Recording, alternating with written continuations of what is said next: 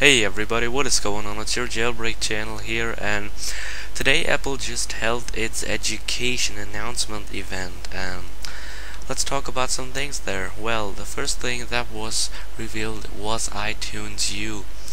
iTunes U lets students communicate with each other uh, in the app and the lectures can be streamed on your phone or your iPad as well as your Mac uh, many universities in the USA are involved in this project and everything is free.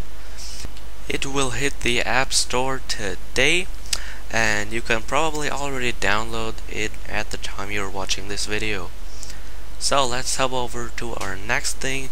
Our next thing is iBooks. Yes, iBooks was also revealed today. Um, there will be textbooks, which are the new books, but it's only for the iPad. So you can download the app with your iPhone or your iPod Touch, but you can only view textbooks on your iPad. Um, the textbooks are $50 and iBooks textbooks are filled with interactive features, um, diagrams, photos, and videos. You can just tap to dive into images with interactive captions or rotate 3D objects, swipe through image galleries, watch videos.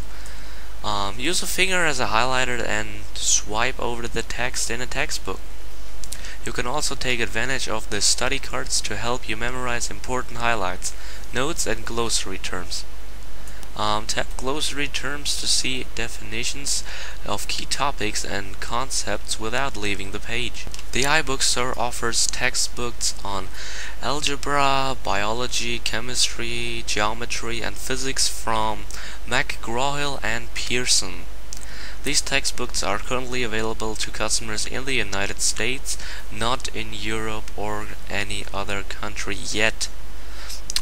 Textbooks from Huffington, Mifflin, Harcourt, and so on are coming soon.